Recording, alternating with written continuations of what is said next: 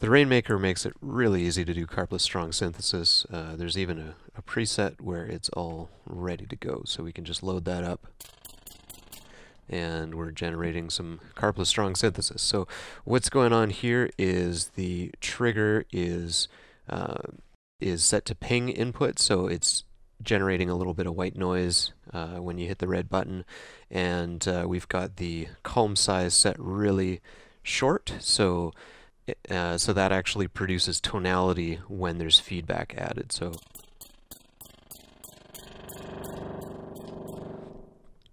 So the more feedback there is, the more that tone gets sustained, and we can use the comb size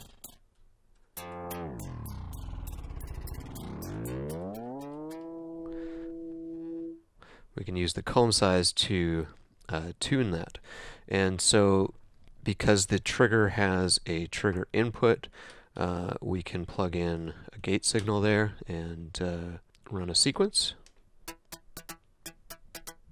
And then because the Rainmaker has this 1 volt per octave input, we can actually use a melodic CV signal to control that comb size and produce melodies.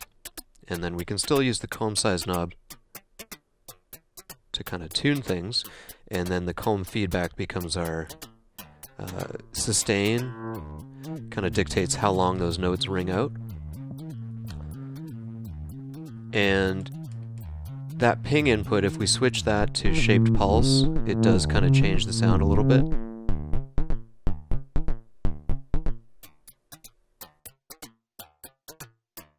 So ping input is a white noise burst, so you get a bit more of that breathy, scratchy kind of sound, and the shaped pulse is just a, a short square wave. So you get a bit of, more of that bassy, bouncy kind of sound. So let's keep it on ping input. And now, another thing that really affects the way this sounds is the filter that's in the feedback loop. So it defaults to guitar,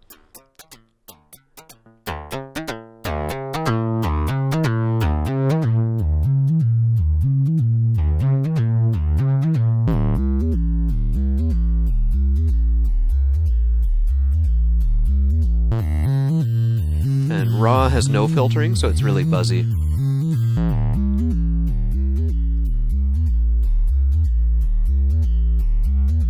We can also change the pattern to affect the timbre of the signal.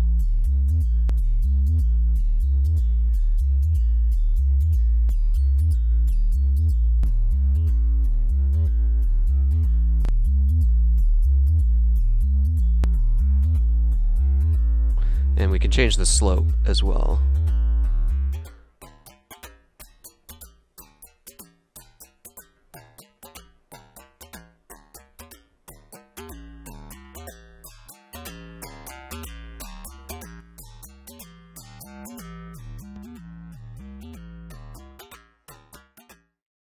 So that's using the internal noise generator. Uh, we can also, of course, send an external noise signal in there. So what I'm going to do is just send a burst of white noise coming from noise tools, and that's going through the Polaris filter and the micro VCA here. So I'll just plug that output in here. So by using an external noise signal, it gives us a bit more opportunity to control and shape that signal. Uh, so right now, here we're just going to turn that up. So we've got it going through a low pass filter right now.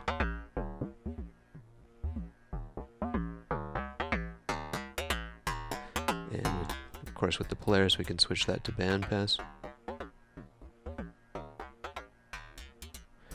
And high pass.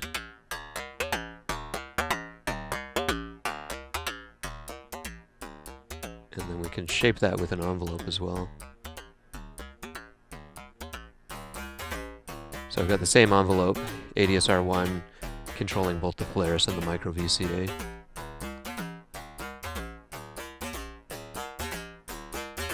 Add a bit of Q to give some emphasis.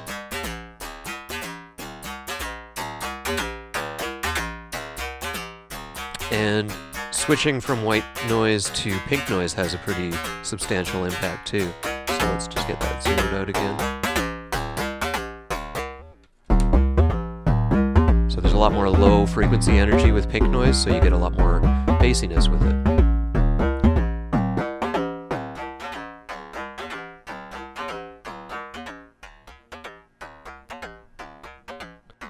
So I mentioned that the feedback can kind of control the, the way the notes sustain or ring out. So if we take an envelope and use that to control the feedback, back off on the feedback a bit, and uh, just turn that up.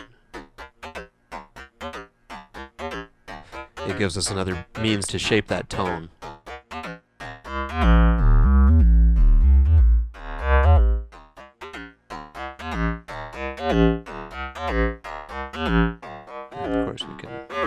Change the way the white noise comes in too.